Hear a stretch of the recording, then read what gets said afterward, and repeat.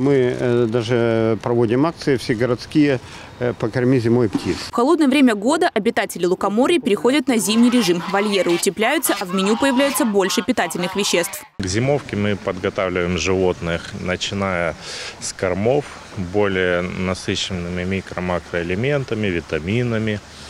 Потом сенаж у нас также производится, э, закупка и скармливание в течение зимнего сезона. Также утепляются вольеры у нас, подстилка у нас солома, э, опилки для утепления пола. А еще работники парка подумали и о бездомных животных. Чтобы они не голодали, купили специальный аппарат. Вот сюда опускается пластиковая бутылка использованная, а вот сюда высыпается корм.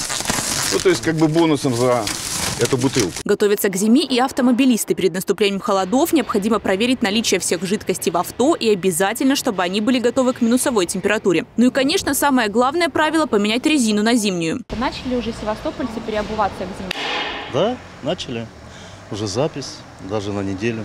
После шиномонтажа развал схождения, ну, как бы желательно, не обязательно. Как каждый делает по-своему. На рынках и в магазинах большим спросом сейчас пользуются теплые вещи. Севастопольцы утепляются. Правда, синоптики уверяют, спешить некуда. У нас в данный момент антициклон стационирует и до конца недели будет оказывать на нас влияние. И произошло в предыдущие сутки активное вторжение холода, а на последующую температура постепенно повышается, и э, высотные температуры повысятся на 10 градусов и выше.